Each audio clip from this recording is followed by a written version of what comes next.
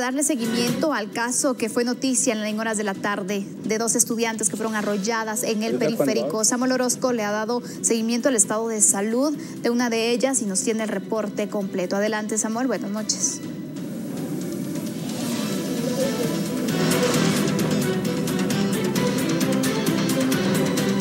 Noches, eh, Sandy, televidentes de TN Todo Noticias. Estamos ubicados en la emergencia del Hospital Roosevelt, precisamente aquí dándole seguimiento al caso de estas pequeñas.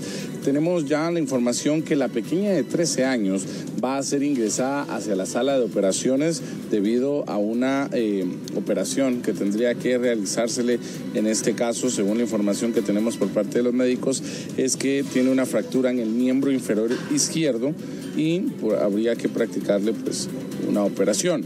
En este caso, la pequeña Allison de 12 años está pendiente de un resultado de una tomografía cerebral, sin embargo no presenta fracturas eh, de miembros superiores e inferiores. Este es el estado clínico hasta el momento, ellas estaban en la sala de cirugía, pero ahora pues eh, a una la pasan a rayos X, a la otra sala de operaciones y se tienen pendientes los resultados tanto de la operación como de esa tomografía cerebral que hay que hacerle a la pequeña.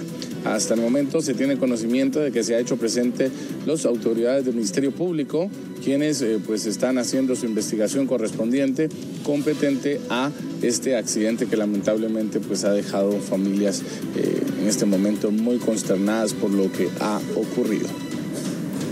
Gracias Samuel por darle seguimiento a este caso. Esto es lo que ha pasado entonces con la situación registrada en el periférico. Dos estudiantes fueron arrolladas y esto es lo que se sabe hasta el momento. Continuamos.